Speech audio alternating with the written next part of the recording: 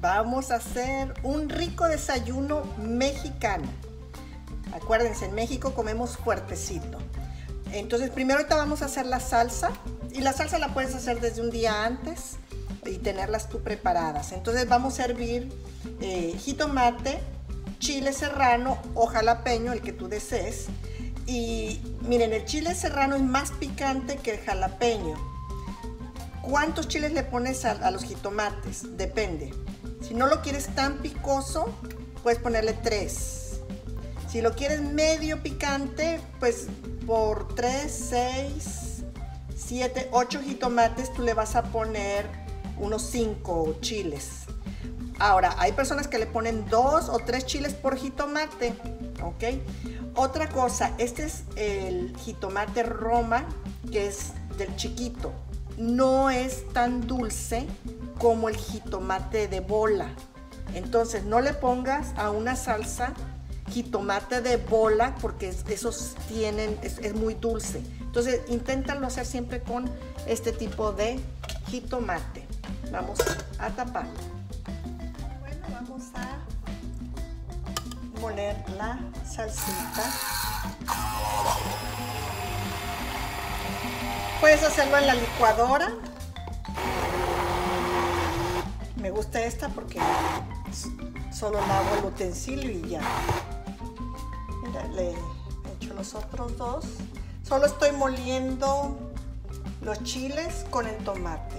tomate. Vamos a echarle una cucharita de sal.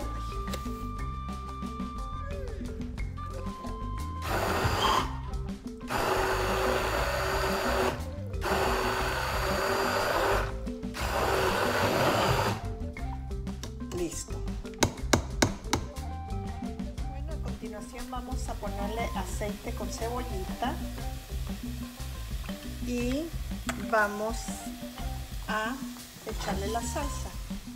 Es a tu gusto si tú quieres moler la salsa con ajo, es a tu gusto. Eh, yo me acostumbré a no hacerlo porque a mi papá no le gustaba el ajo, pero tú escoges. Acuérdate, sé creativa en la cocina y acomoda la cocina a tu gusto. ¿Ok? Vamos a echar la salsa y vamos a dejarla freírse por un ratito. Cuando se pone roja, roja, roja, entonces le puedes echar un poquito más del caldo con lo que hirvieron los jitomates. Posteriormente vas a separar un poco de esta salsa y vas a hacer tus chilaquiles con un poquito más de agua. A tu gusto, perdón, chilaquiles, estoy hablando, puedes también hacer los chilaquiles con este tipo de salsa. Eh, o ve en mi canal la receta de chilaquiles que la hago con otras salsas. Bueno, regresando al tema. Eh, puedes, eh, para hacer el chicharrón en salsa, puedes ponerle un poquito de nor suiza si gustas. Siempre acuérdate, sé creativo y ve tú probando qué es lo que más te gusta a tu paladar.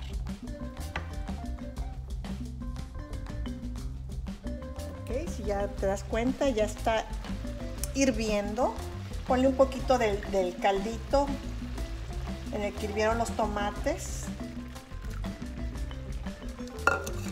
Dejas que hierva un poco más, lo apagas y lo sirves en el molde. Esta es una salsita para todos los días, para que le pongas a tu bistec, para que le pongas a tus molletes, hasta para enchiladas también puedes hacerla.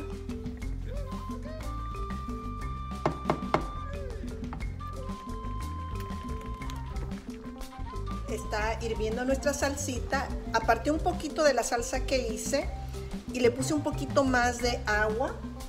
Le vamos a echar quesito fresco aquí a un lado queso panela, el que tú quieras.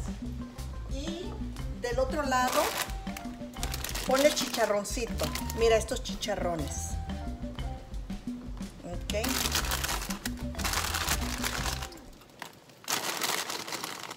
con los frijolitos y un huevito. ¿Qué les parece? Ahora, mientras, vamos a hacer un huevo. Vamos a darles instrucciones de cómo se hace un huevo perfecto, estrellado. Miren, la gente llena de aceite las cazuelas, no lo hagas. Ponle unas cebollitas, así en rajas. Ponle sal aquí mismo. Un poquito más.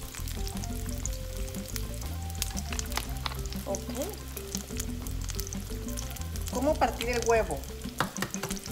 Mira, le haces así y dejas caer primero la, yema y luego, perdón, la clara y luego la yema.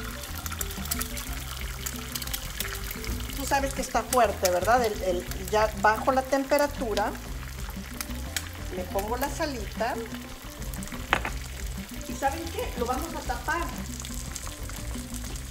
Vamos a taparlo con,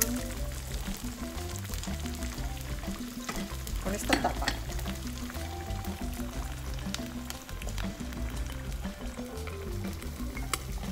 Ok.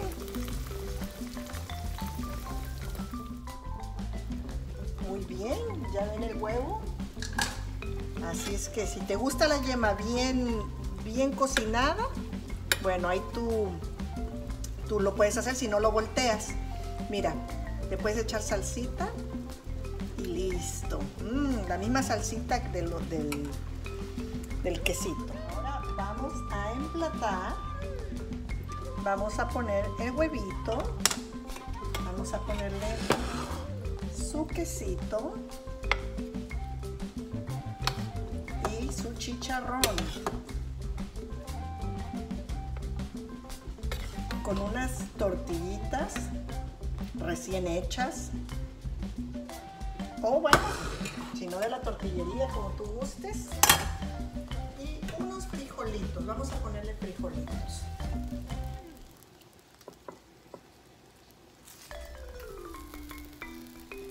¿Qué te parece este desayuno mexicano? ¡Ajúa! Muy bien.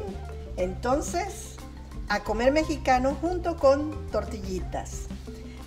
Inscríbete a mi canal y te voy a pasar muchos tips de recetas tanto eh, muy elaboradas como muy rápidas. Gracias siempre por visitar mi canal. ¿Quieres comer bien mexicano? Solo observa.